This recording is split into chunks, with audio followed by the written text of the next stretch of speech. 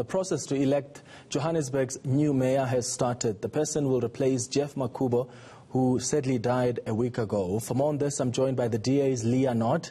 Uh, Leah, thank you so much for making time. How far is that process of appointing a new mayor? I saw uh, the council speaker only saying the process will be finished in due course.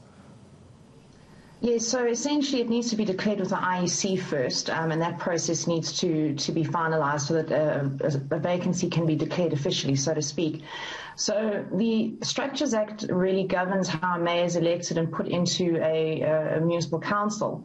And in essence, it, it doesn't really speak to the death of a mayor. It speaks to a number of um, uh, where a mayor resigns or they're removed or they cease to be a councillor, but it doesn't specifically speak to such a situation. Mm. And um, I think Section 55 refers to the vacancy being filled when necessary. What we'd like to see is the DA, however, because we are, we're in the midst of a pandemic and we had the, the serious rioting and, and looting that was happening in Gauteng, um, you know, in the past week. Uh, we, we, definitely we need a leader at the helm of Joburg, and it's imperative that we have this called within 14 days um, you know, in order to fill this vacancy so that we can proceed with council. Yeah, the, the Speaker, as, as, you say, indicated that they still are within the 14-day uh, time frame. Mm. So they've got the 14 days to call a meeting. Uh, so what's the rush, they're asking? Well, you know, I mean, in essence, I think they're delaying it for their own reasons, and I suppose that would be because they haven't decided yet on who they want to nominate or field as a candidate, and that's really their business. But uh, I think at the you know the crux of it in 2019, when we when we saw the mayor resign, we held a council meeting within seven days in order to elect a new one. So I would say there is a rush. Um, you know, we, we, we need to get moving. We are right in the beginning of a financial year. We're in the middle of a, a peak in a pandemic. Um, we need political leadership in the city. Mm.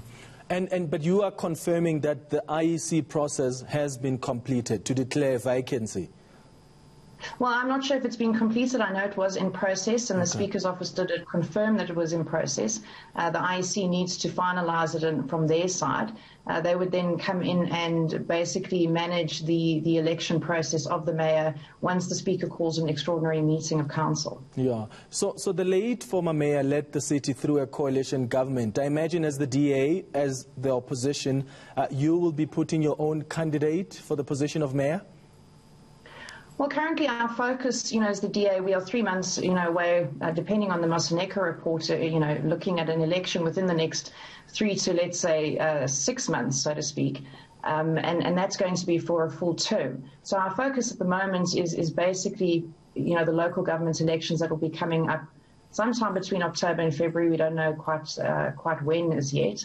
But, you know, we will be discussing obviously internally with our party as to uh, whether or not we field the candidates and, and who we would field in that situation. But at the moment, we're just waiting for that extraordinary council meeting to be called um, so that we can proceed.